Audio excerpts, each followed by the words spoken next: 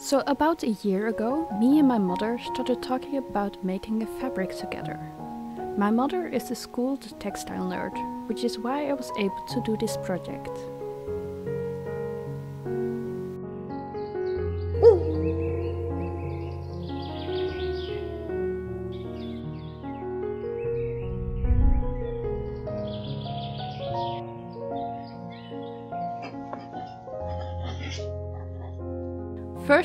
Need to decide on a pattern. Then my mother makes a calculation on how many threads are needed.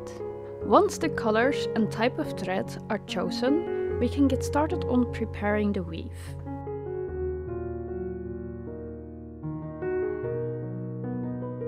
The yarn comes in hanks, so first we have to turn the ones that become the warp into balls of yarn.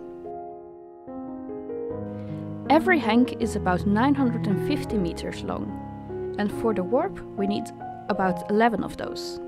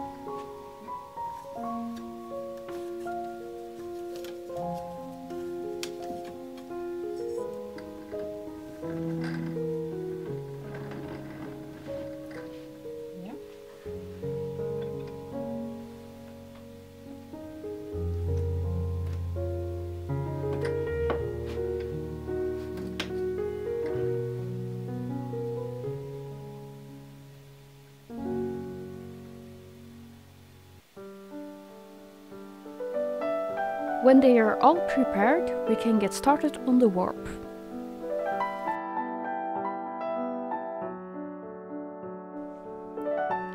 To do this, we use an antique warping mill from the early 1900s. My mother uses a red thread as a guide to help keep track. At the bottom of the warping mill, she creates the shed on the last two pegs.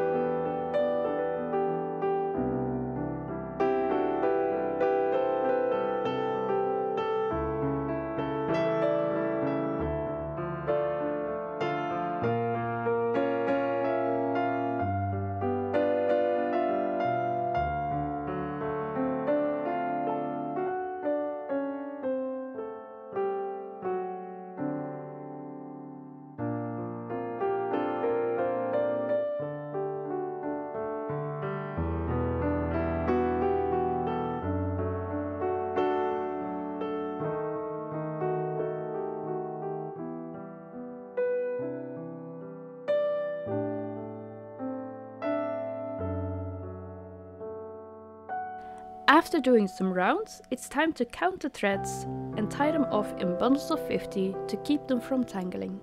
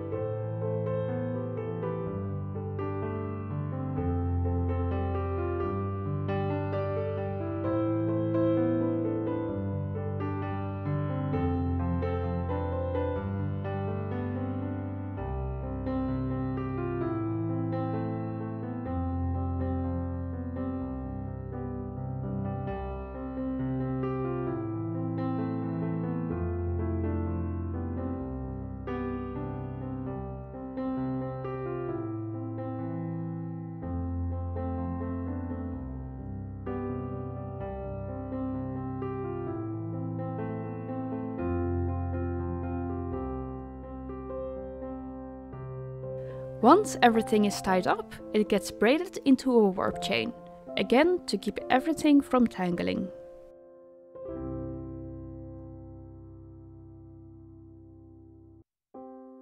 A single warp chain of ours has 320 threads, and we need 4 of those in total.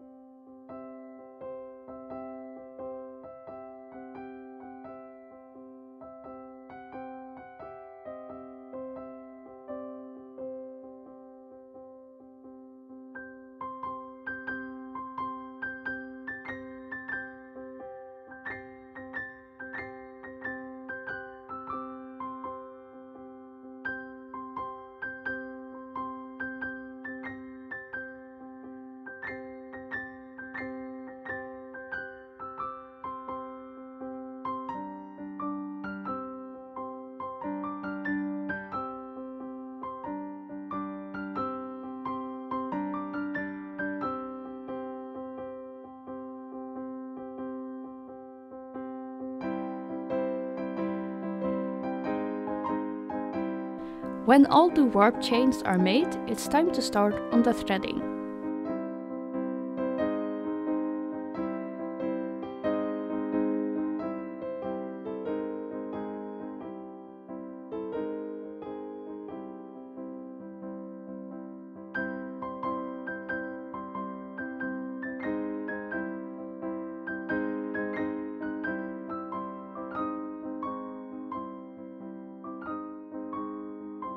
Using a hook tool, we take 4 threads at a time through the reed, making sure not to skip over a space, which is easier said than done.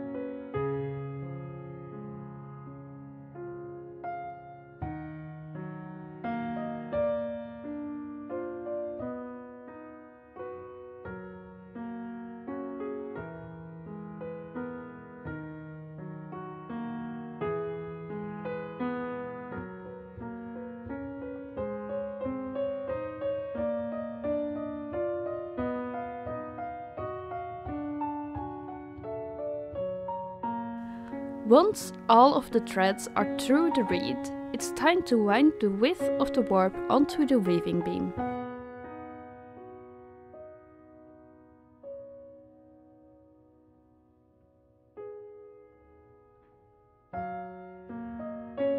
To keep the tension even on the threads, my mother places slats every so often on the weaving beam.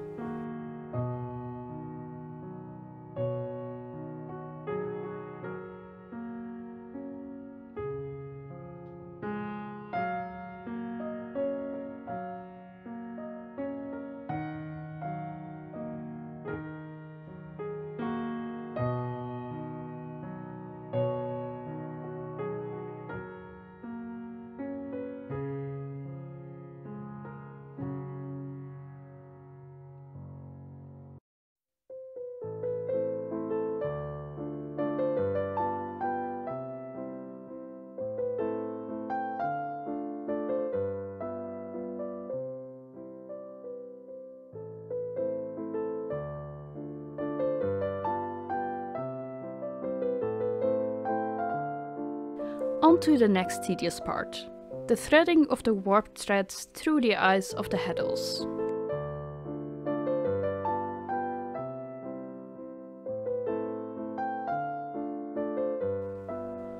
Through this process you will determine the base pattern for the fabric.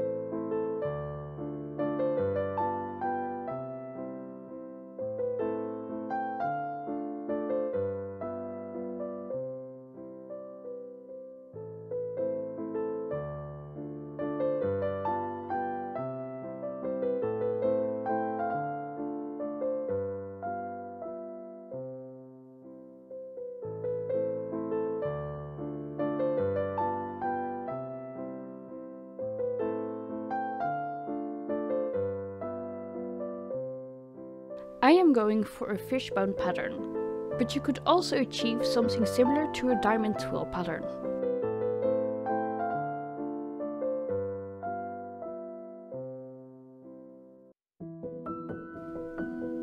Once the warp is secured in the loom and the treadles tied up,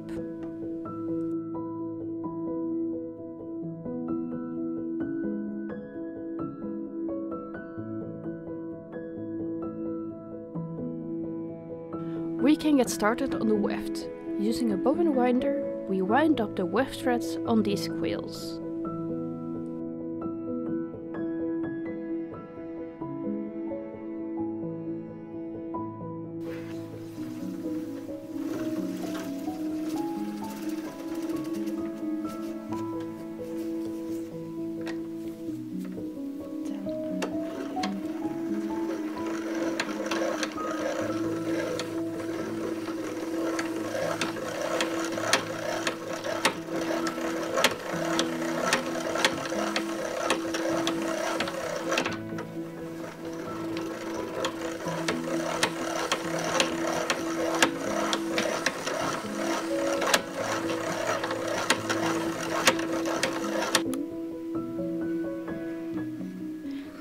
Get placed in the middle of a boat shuttle, like this one.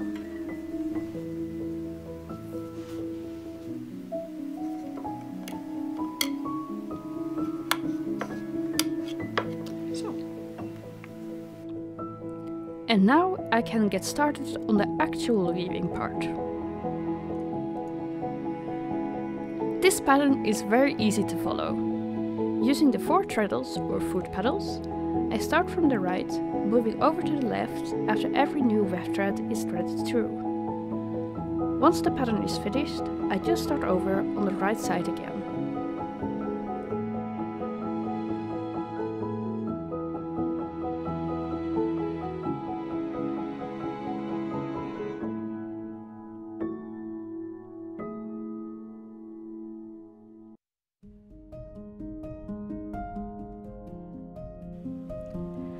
After the new weft thread is threaded through with the boat shuttle, I have to beat the weft in place with a beater.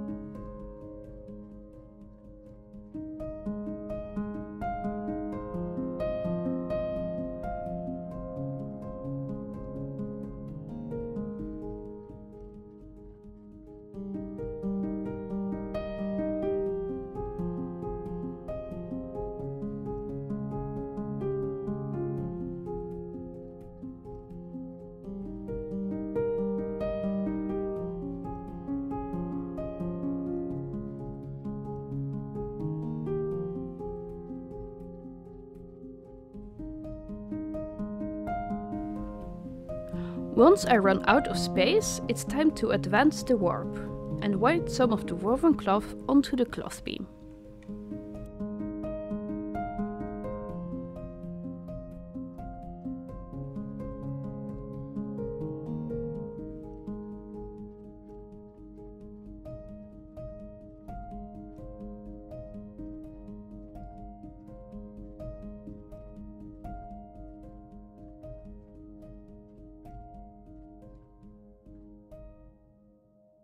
Now I just have to repeat these processes until I finish the woven cloth.